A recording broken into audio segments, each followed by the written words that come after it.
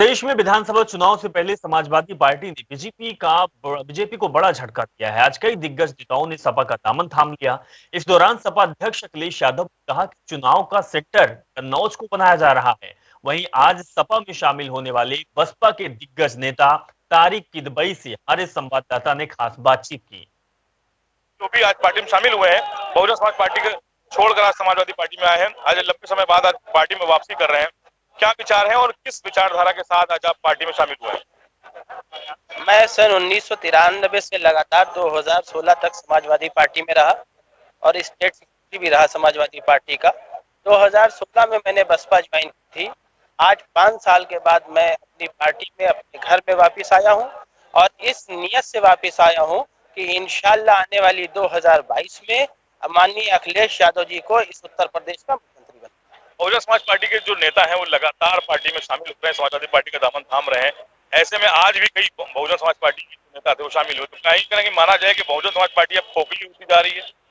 देखिए, जब हमने बहुजन समाज पार्टी ज्वाइन की थी, उस वक्त मुझे ये एहसास था कि ये बहुजन समाज का काम करते हैं, पचासी परसेंट की बात करते हैं।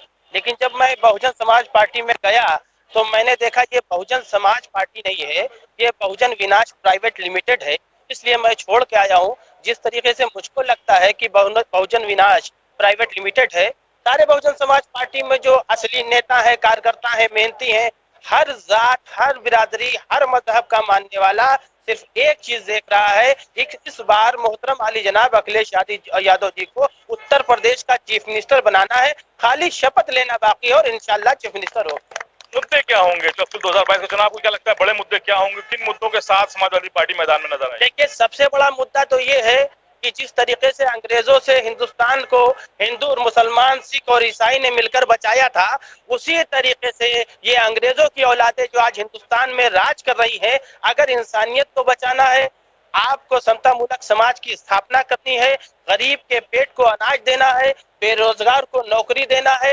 तो मुद्दा यही है कि मोहतरम अखिलेश यादव को 2022 में चीफ मिनिस्टर बनाना हमसे बात करेंगे देखिए तारिक वही हैं जो बाराबंकी से राजनीति से जुड़े हुए हैं और इनका लगातार प्रयास है कि जो बाराबंकी क्षेत्र है वहाँ पर फिर से समाजवादी पार्टी का परचम लहराया जाए और जो छह विधानसभा सीटें हैं उन पर समाजवादी पार्टी! का झंडा लहराया जाए। प्रसाद आशीष के साथ